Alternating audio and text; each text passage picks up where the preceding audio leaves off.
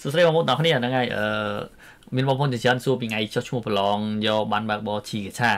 ការប្រឡងមានពីរដំណាក់កាលទី1បងប្អូនប្រឡង Pilki ហើយនៅពេលបងប្អូនទៅប្រឡង Pilki ហ្នឹងគ្រូគាត់នឹងប្រាប់ពីថ្ងៃប្រឡង Silky ប្រឡងដៃចកោតណាអញ្ចឹងនៅពេលដែលប្រឡងដៃចកោតប្រហែលជាមួយអាទិត្យទៅពីរអាទិត្យជាទូទៅពីរអាទិត្យអញ្ចឹងបងប្អូនកត់ថ្ងៃនឹងទុកទៅហើយអឺ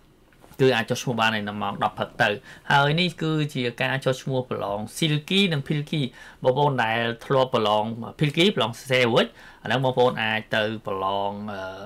អឺដៃចកោតហើយបើបងប្អូនដែលធ្លាប់ប្រឡងសោះអាហ្នឹងបងប្អូនប្រឡង Pilky គឺប្រឡង Crescent ហើយគេចុះឈ្មោះថ្ងៃហ្នឹងថ្ងៃ15ថ្ងៃហ្នឹងហើយនឹងស្អែកថ្ងៃ16អញ្ចឹងបងប្អូនអាច អាចចុះឈ្មោះបានហើយបើសិនជាបងប្អូនគិតថាអត់បានរៀនទេអឺបងប្អូនអាចចុះឈ្មោះនៅថ្ងៃទី22ខែ6និងនៅថ្ងៃទី23ខែ6ហើយថ្ងៃប្រឡងគឺនៅថ្ងៃទី27 28 29 30អាហ្នឹងបើសម្រាប់បងប្អូនថ្ងៃចុះថ្ងៃ15ហើយបើបងប្អូនដែលចុះឈ្មោះខែ6អាហ្នឹងបងប្អូនប្រឡងខែ7ថ្ងៃទី 3ថ្ងៃទី4ទី5ទី6អញ្ចឹងវានៅរៀងពេលយូរដែរអញ្ចឹងបងប្អូនដែលចង់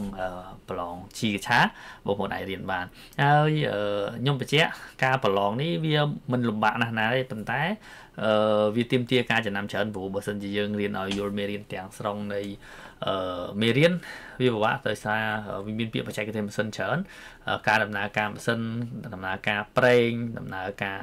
ផ្លិតទឹកធុងទឹកអីជាច្រើនហើយគ្រឿងក្រមអីជាច្រើនអញ្ចឹងអាកន្លែងទាំងអស់ហ្នឹងយើងពិបាករៀនប៉ុន្តែអាកន្លែងផ្សេងៗដូចជាច្បាប់ចរាចរណ៍ប្រព័ន្ធសុវត្ថិភាព គ្រឿងខាងក្រៅមានគ្រឿងក្រៅបងប្អូនដែលមានជីកឆាបងប្អូនសិតតែស្គាល់ហើយអញ្ចឹងបានខាងខ្ញុំនឹងបើកបរិញ្ញាអំពីការប្រឡង Pilki ការប្រឡងវិញ្ញាសាជីកឆាដើម្បីបងប្អូនអាចជាប់ត្រឹមមកជាប់ឯងបើឲ្យចេះហ្នឹងអត់ចេះ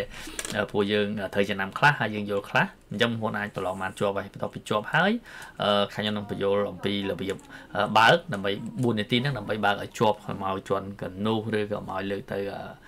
ខុសបច្ចេកទេសអីជាដើមអញ្ចឹងបងប្អូនអាចយកបានបើកបរជីកចាគេហៅអ៊ុនចុនគីនឹងសាហ្នឹងបាន10ពិន្ទុសម្រាប់ដូរវីសា E7 ពី E9 ទៅ E7 តើអ្នកនេះអញ្ចឹងនេះការប្រឡងនៅខែ6ហើយខែ7គេនឹងប្រកាសទៀតបើសិនជា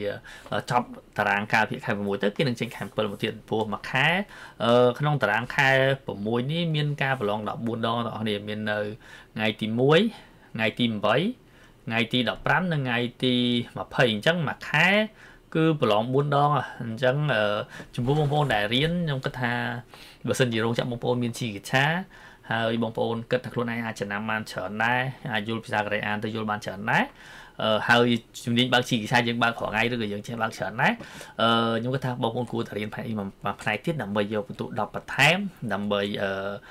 ជំនួយនៅក្នុងបន្ទុកដូរវីសាពី E9 ទៅ E7 តើអ្នកគ្នាអញ្ចឹងសម្រាប់បងប្អូនដែលចង់សិក្សាអាចឆាតមកក្នុង page ខាងខ្ញុំនឹងរៀបចំជូនហើយបងប្អូនដែលចង់ចុះឈ្មោះប្រឡងបងប្អូនអាចចុះឈ្មោះតាមថ្ងៃដែលខ្ញុំដាក់នៅខាងលើនេះបានហ្នឹងហើយអរគុណអញ្ចឹងមានប៉ុណ្ណឹងហើយជួបគ្នានៅវីដេអូក្រោយជំរាបលា